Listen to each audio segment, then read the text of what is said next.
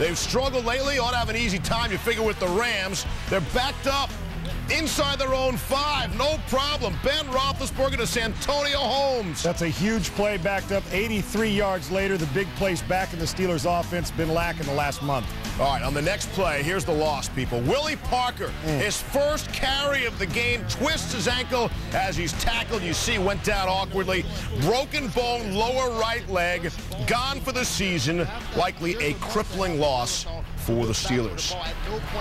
So, Sean, as you would expect later in the drive with Parker out, got to go to the air. That's exactly right. Ben, they don't get a, no pressure on Nate Washington off the line. Ben hits him for a touchdown.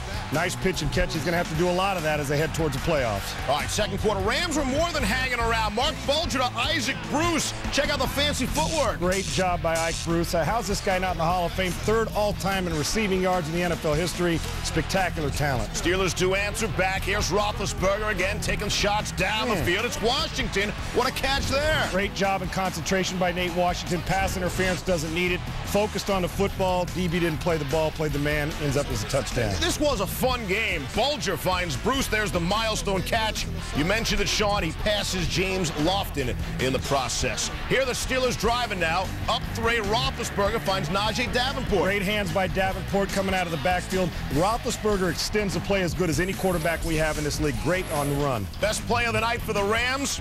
Retired Marshall Faulk's number at halftime. I like to thank my teammates because my jersey hanging in Raptors, not just because of me, but because of it takes 11 guys on one side of the ball and another 11 on the other side of the ball to make what we did here special. Uh, what about the 11 guys on the special teams there? No, they weren't kidding. special. not, not, special enough. Bulger here with the Rams down 10, trying to rally him back. Picked clean by Ike Taylor. He gets some help. Been the story all year long. Look at Polamalu and some of his friends come help. Ike's going to avoid, miss, get in the end zone, sewed up 41 to 24. Pittsburgh desperately needed this after losing four games this year on the road. And the frustration boiling over. The Rams outscored 130 to 40 in the fourth quarter this season. Everybody's hot on the Rams sideline. How can you blame them? They Don't see that from Torry Holt, buddy. One and seven. The Rams finish at home. The Steelers do go on the win. They had lost three of their previous five going into this one. They stopped the bleeding. Ben, 16 to 20, 261, three scores, no picks. Must have enjoyed playing in the perfect conditions inside a dome for a change. His first 200-yard passing game in the last five games, and he had it by halftime.